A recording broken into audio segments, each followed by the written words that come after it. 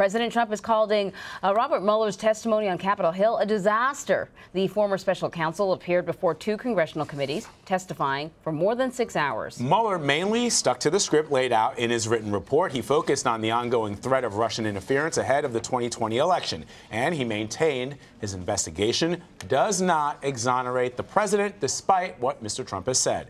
Paula Reid has more from the White House. So we had a very good day today. President Trump seemed pleased with the Mueller hearing. When you ask that question, you're untruthful. But quickly turned defensive when CBS News mentioned one of Mueller's few definitive statements. Mueller said you could be charged once you leave no, office. No, didn't say that. Again, yes, you're fake news, and you're no. right at the top of the list also. Let me just tell you. That is what he Go said, back sir. to what it's he not said what he said. That is what Read he said. his correction. That was not Read his correction. His his correction. correction. The president's claim that he couldn't be charged was wrong. Mueller did not correct this statement. Could you charge the president with a crime after he left office? Yes. You believe that he committed, you could charge the president of the United States with obstruction of justice after he left office? Yes. President Trump believes Mueller's testimony may even help him get reelected. The Democrats thought they could win an election like this. I think they hurt themselves very badly for 2020. Still, the hearing appeared to have gotten under the president's skin. I think Robert Mueller did a horrible job, both today and with respect to the investigation. Though he's had a different take in the past. It was the most thorough investigation probably in the history of our country. CBS News has learned the president happily made calls to his friends after the hearing. This case is closed. The president's lawyer, Jay Sekulow, previewed the White House's argument going forward. The, the reality is at the, at the end of this, the needle has not been moved in favor of any kind of action by the, the House Democrats here. So joining us now from the White House is Paula Reid, and here with us on set is CBSN political contributor and Democratic strategist, strategist Antjuan uh, Seawright, and also you are also the CEO of Blueprint Strategies and a senior advisor to the Democratic Congressional Campaign Committee whole lot of words there, as well as CBSN political contributor Molly Hooper. So we're going to start with you, uh, Paula. So the president singing his favorite refrain, complete exoneration, and other greatest hits. Uh, what does the testimony mean to the president and the White House?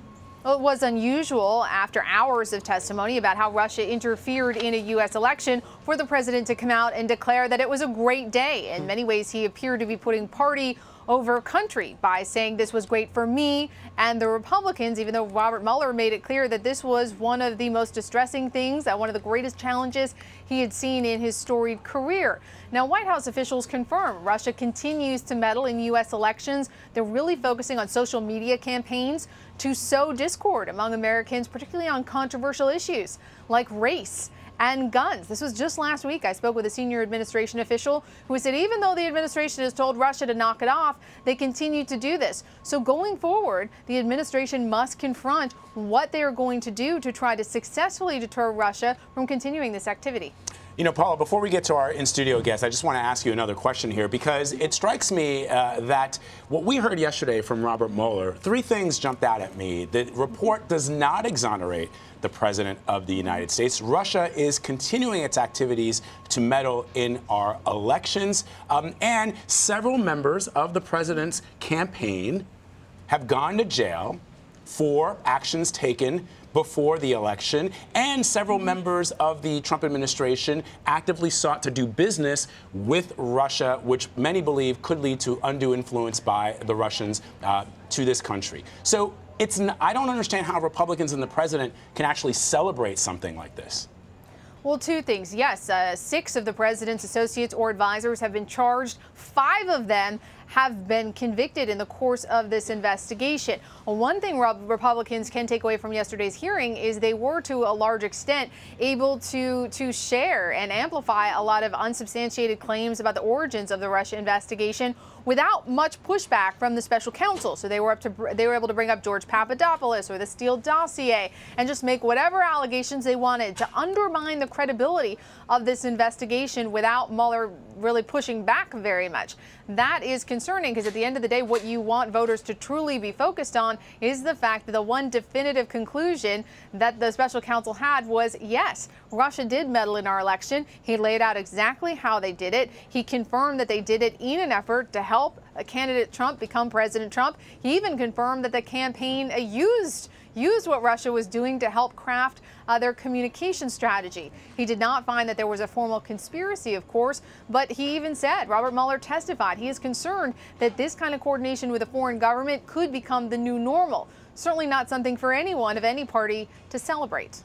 You know, Antjuan, as we were moving closer and closer to the testimony, there was it seemed like the Democrats were sort of tamping down expectations, and they kept on sort of reinforcing this idea that even if he just reads the report, that'll be good enough because most Americans haven't read the report, and hearing it, hearing the words from his mouth will make a difference. He didn't even read from the report, really. He referenced it, but he didn't read from it. Well, he wasn't asked to, and what I said coming into this mm. is this should have been framed as a national security argument because time yeah. at the time we saw throughout the hearing this was a national security argument. The other so thing, you think it was a misstep then to sort of characterize it, this as bolstering the impeachment argument? I don't think it was a misstep because you only had some hollering impeachment. Leadership uh, has been very clear, Pelosi, Corey, and Clyburn, that we need this in order to make the case for continuing to investigate and flush out the corruption that flows from this administration. For Democrats, it was hope for the best, prepare for the worst, capitalize on what comes. Well, what has come is there were pinpoint examples that you can touch where obstruction of justice came to. We know that the president lied in his written testimony to the special prosecutor. We also know that we've set a dangerous precedent if we don't do something about accepting dirt from a foreign government who essentially is our enemy who committed an act of cyber warfare. And now, with all the conversations we're having now about race, uh, and all the things we're having, it seems to me like this could be an alley oop from Trump to the Russians to do the same thing they did in 2016, and we all let it go by and say, oh, well, there's nothing wrong with this. And that's the scary part, because make no mistake, they are not stopping.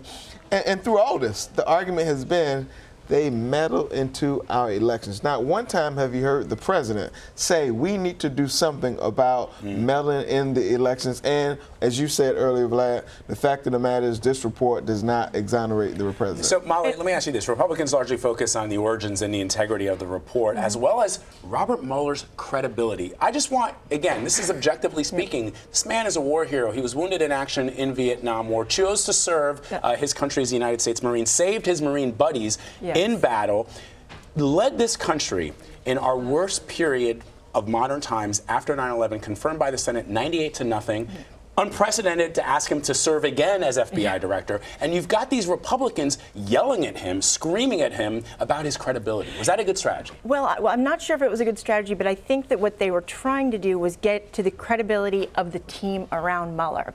And this is one thing that I did hear from one of those Republicans who was up on the up on the dais, who, who knows Mueller, who said, you know, when when Bob Mueller was putting the team together he, he, number one, he had to take on several of the attorneys who had already been working on the investigation in the FBI, full stop. And that's what he said. The other thing is, uh, he brought on close associates that he's worked with in the past, like like Andrew Weissmann and these other individuals.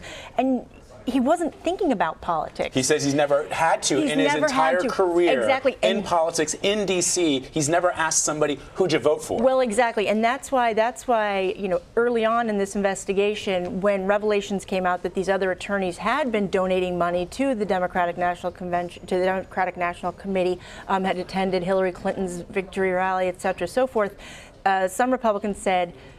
Bob Mueller's a stand-up guy, but he doesn't have the right team in order to, well, in order for Republicans to take seriously the report that comes out. And it's not going to be Bob Mueller, it's going to be the people around him. And what Republicans tried to do, and I'm not sure that they did it effectively or not, depending on how you look at it, is make that case that it was the team around Mueller that they didn't trust and not Mueller himself. But, but can I pick up on that last point on national security?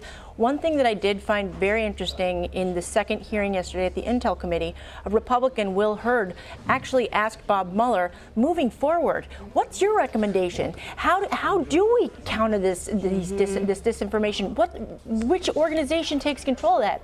And he didn't really have an answer. And that that was that was kind of a, a, a moment, a meaningful point because as Republicans and Democrats tried to you know, bolster election security. They just need to know how. Mm-hmm. What's the most effective way? So, so a couple of things. Number one, there's a bill sitting in Mitch McConnell's Senate that Democrats have passed out of the House that have not seen the light of day. Number two, Will Hurd is battleground zero for House Democrats in, uh, in going into next year's election. Uh, number three, Republicans from day one have tried to do everything they can or could to tamper down or pour water on this fire known as Robert Mueller. So it's no secret uh, why they did what they did yesterday. But uh, in case you haven't figured out, you these people who serve in our government who are underpaid and overworked. We don't care what their politics are when they leave home. We should not care. Mm-hmm. And we've never had to care before. But this is just one line of excuse the Republicans want to use to damage the credibility of this investigation. And we cannot go down this dangerous road because I am quite certain there are people who working in this administration and every other administration we've had in this country who may not, their politics may not be in line with the people who are in charge I think it's the government. supposed to be normal. It is supposed- It's, It's normal. public service. It's right. Who you vote go for into and how much money because you they make are should never be- public service. fellow Americans, Right, not to help exactly. a particular says, Well, but the challenge, for. but the challenge we have, and this is covering Congress every day, it's hyper-partisan, Yeah. It's so hypercharged, true. and it's, so just. true. you know, Listen, I want to bring uh, Paula back in. P- uh, Paula, yeah, Mueller alluded to investigations that remain open. You spoke to former FBI Deputy Director Andrew McCabe about that. I want to play some of that sound from your interview. I was surprised that he revealed the fact that there was a uh, significant element from the counterintelligence division at FBI who were essentially embedded with the special counsel team and there for the purpose of exchanging counterintelligence information in both directions. It certainly makes sense that that team would continue to investigate any lingering counterintelligence concerns around the president or anyone in his administration. So that was one of the revelations that we didn't know about that came out of uh, the hearing. Should the White House, is the White House concerned about this? The president's legal team insists it's case closed on the entire Russia investigation. But as you said, this was one of the big reveals from Mueller yesterday that there are continuing ongoing counterintelligence investigations. So these are investigators looking at the national security threat, not looking at the possibility specifically of criminal charges, but looking at the extent to which Russia continues to meddle anyone who could potentially be susceptible to blackmail.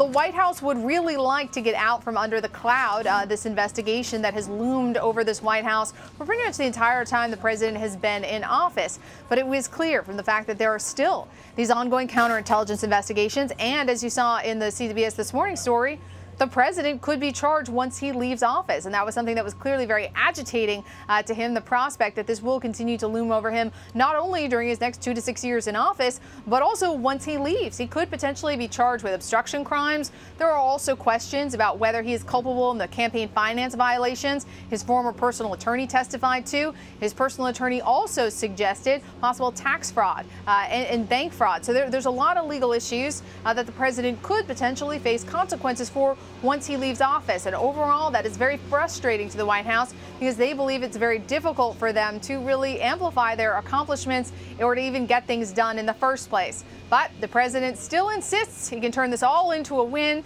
and try to convince voters he is being harassed. Hmm. Antjuan, you wanted to add something real quick? Yeah, yesterday brought very much clarity to why you see the House majority controlled by Democrats investigating committee after committee all the corruption that stems from this uh, administration. Make no mistakes, Democrats have never uh, put their strategy, put all their eggs into this basket. We've made it clear that issues like we drew up in the midterms are be, will be the thing that keep us in the majority and that will take back that temporary public housing unit called the White House. So for the Republicans who want to frame this argument that it's a loss of Democrats, I would tell you stay tuned. All right, Antjuan, Molly, thank you very much. Paula Reid at the White House. Paula, your uh, question to the president uh, led many evening news broadcasts yesterday uh, and has a lot of people buzzing. Uh, thank you for that original reporting and asking those tough questions. We appreciate it. Thank you.